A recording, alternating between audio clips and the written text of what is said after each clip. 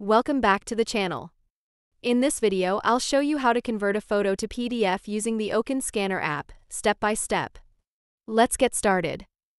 First, go ahead and open the Oken Scanner app on your phone. Now, tap on the camera icon at the bottom of the screen to capture a photo. If you want to use an existing image from your phone, tap on Import to select it from your gallery. But for this tutorial, I'll go ahead and take a photo of the document directly.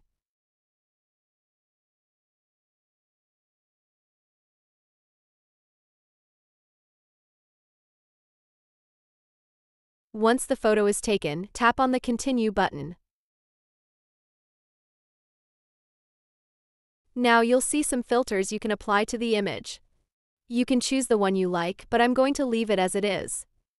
Next, tap on the Done button and the scan will be saved. Now everything is ready. Tap the Share button at the bottom of the screen.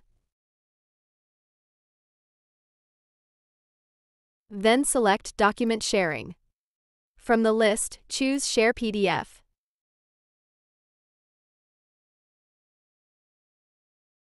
Finally, you can send your PDF file through social media apps or just save it directly to your phone, super easy.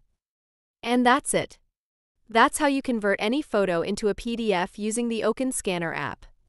If you found this video helpful, don't forget to like, share, and subscribe for more quick tutorials.